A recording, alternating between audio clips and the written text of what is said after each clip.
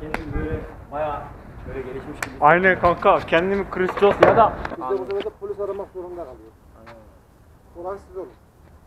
Biz açık konuşuyoruz. Yani